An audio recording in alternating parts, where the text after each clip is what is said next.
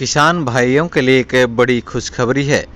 किसानों के लिए अब सरकार ने अपने खजाने का मुँह खोल दिया है। अब खजाने का पिटारा जो सरकार द्वारा किसानों के लिए खोल दिया गया है, जिससे लाखों किसानों को इससे से फ़ायदा होगा। जी हाँ सरकार द्वारा घोषणा की गई कि किसानों को सोलह हज़ार करोड़ रुपए के ब्याज मुक्त ऋण वितरित किए जाएँगे, जिससे लगभग तीन लाख किसानों को जोड़ा जाएगा।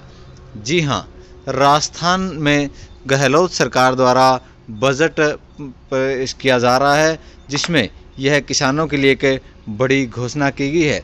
आइए इसमें विस्तार से बताते हैं कि सरकार द्वारा किसानों के लिए क्या क्या बड़ी घोषणाएँ की गई हैं।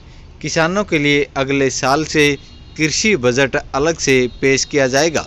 किसानों के लिए ऋण माफ़ी के संबंध में वन टाइम सेटल योजना से ऋण माफ़ कराए जाएँगे, यानी किसानों के ऋण माफ़ भी किए जाएँगे और एक मुश्त जो ब्याज ऋण माफ़ी होगी, वो दी जाएगी। किसानों को सोलह हज़ार करोड़ रुपए के ब्याज मुक्त ऋण वितरित करने की भी सरकार द्वारा घोषणा की गई है। इस योजना में 2021-22 में तीन लाख किसानों को जोड़ा जाएगा।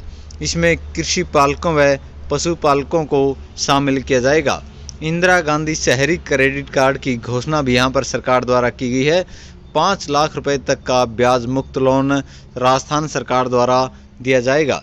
छोटे कारोबारियों को 50 करोड़ रुपए की जो ब्याज सब्सिडी है, वह दी जाएगी। पाँच लाख रुपए प्रति स्टार्टअप की सहायता यहाँ पर सरकार द्वारा घोषणा की गई है।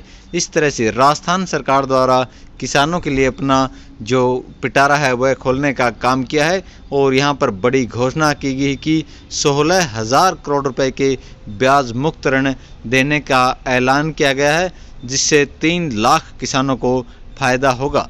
जय हिंद